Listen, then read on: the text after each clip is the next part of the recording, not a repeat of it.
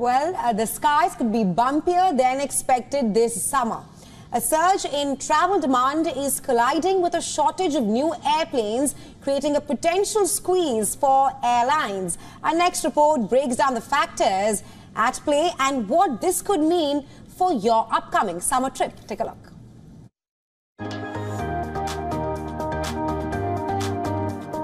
The airline industry is bracing for a challenging summer as travel demand surges beyond pre-pandemic levels. Analysts predict passenger numbers to reach a record 4.7 billion in 2024, exceeding 2019 figures. Airlines were initially expecting a 9% growth in global capacity this year, but those projections seem unrealistic. The aircraft shortage stems from production slowdowns at major manufacturers like Boeing and Airbus. This has led to a 19% decrease in expected aircraft deliveries for airlines this year. US carriers are facing the brunt of this issue with a projected 32% fewer new planes compared to their plans.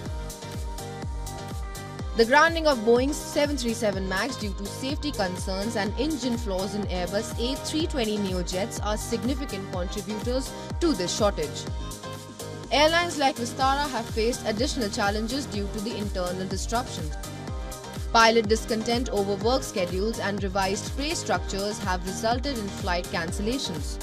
To address this and ensure smoother operations, Vistara has implemented strategic flight cuts and plans to source pilots from Air India.